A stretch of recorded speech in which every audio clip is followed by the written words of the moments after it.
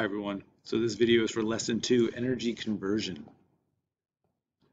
So what I want you to learn is to, to be able to define, explain, and apply the law of conservation of energy.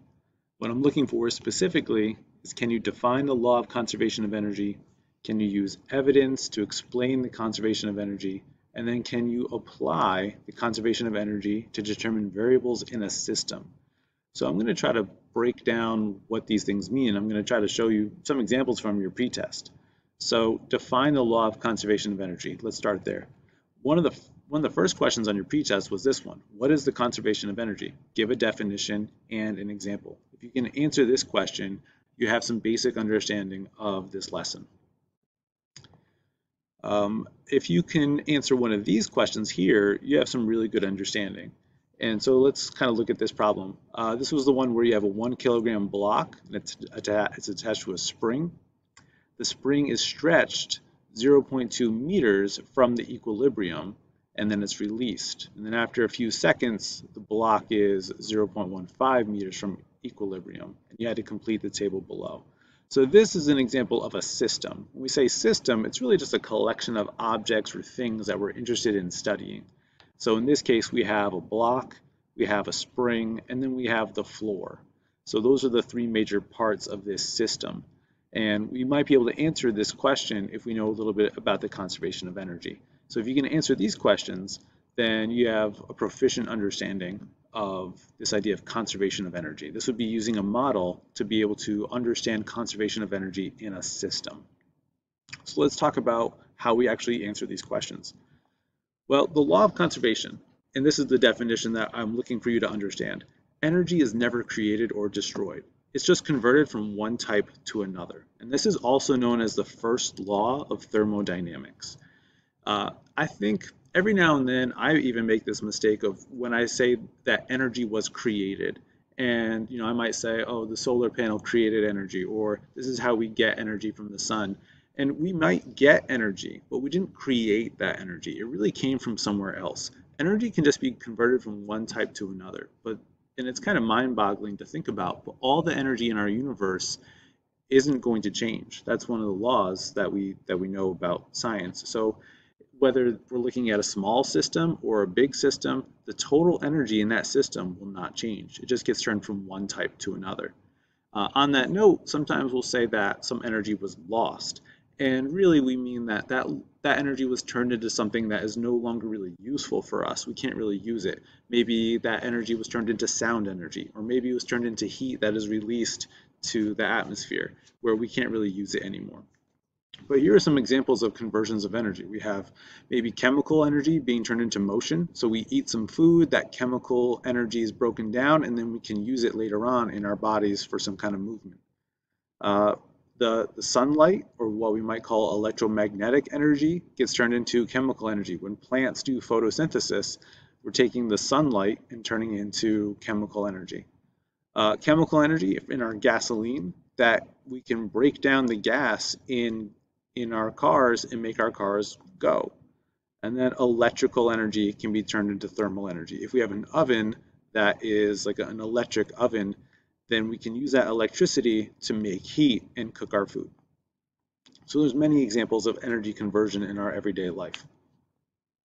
Uh, here's one that you maybe had to look at for this for this lesson. You had to look at this skater um, at the skate park, and you might have seen that the skater had a lot of potential energy at the top of the ramp, but then as they go down, all that energy is turned into kinetic energy.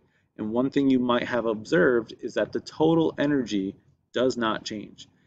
The type of energy might change, and you might be, if you added some friction, then the thermal energy started to show up. But what you might have noticed that the total energy does not change. If you change the person's mass, then the energy in the whole system might change. But then once those settings are set, the total energy does not change.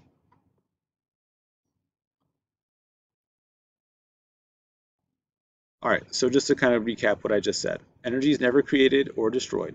And in the skate park, the energy was changing from potential to kinetic to potential and back and forth and back and forth. Um, the total amount of energy does not change. And like I said, if you if there was some friction or if there was no friction, then the skater would just go back and forth forever. Now we know in the real world there is friction, and so the skater would eventually slow down unless they put some of their own energy into it, unless they really were trying to keep going. If they were just on the skateboard coasting, eventually they would come to a stop. Um, another example, very similar example, is a pendulum. When a pendulum swings back and forth, it has potential energy, and then it goes to kinetic energy, and then it goes back to potential energy, and it just swings back and forth, back and forth.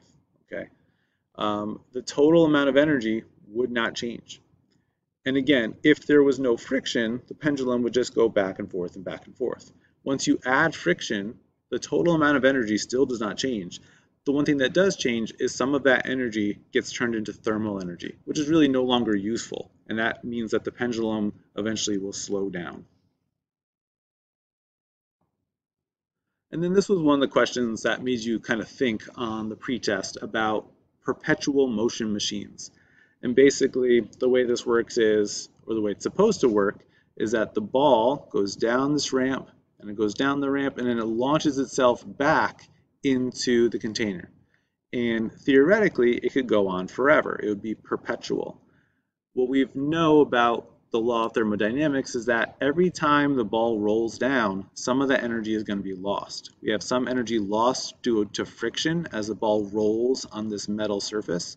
And then there's some energy lost to air resistance as the ball tries to get back into the container. So this machine actually does not work.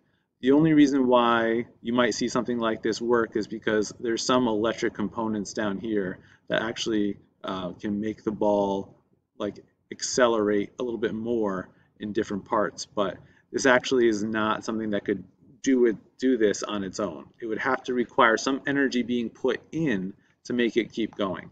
So there is some energy that is being lost every time the ball goes through this cycle.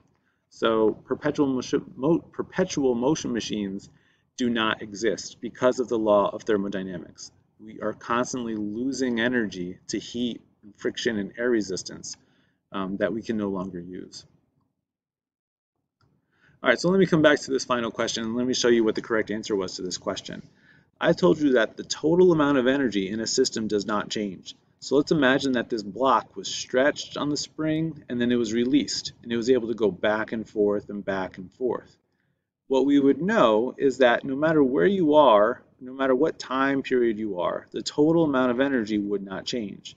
So what I see from moment one is that the total energy is 10. 10 plus 0 plus 0 is 10 what I see here is that we have 5.6, we have 2, and then we don't know the thermal energy. But we could actually calculate that. If we did 5.2 plus 2, we would need whatever this other number, we would need all three numbers to equal 10. So maybe I'll leave that as a little challenge to you. Think about what would this number have to be for, for our total energy to be 10.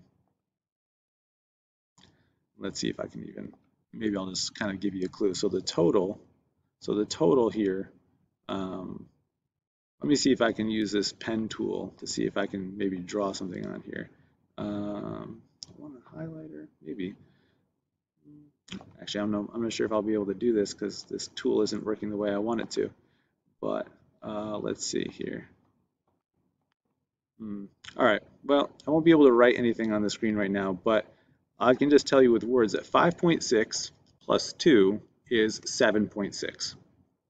7.6 is 2.4 away from 10. So the thermal energy would have to be 2.4.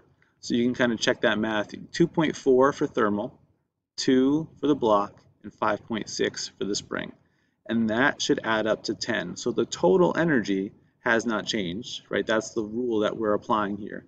And so if we know some of the energies, we can figure out the missing energy by knowing that the law of conservation says that the energy would not change.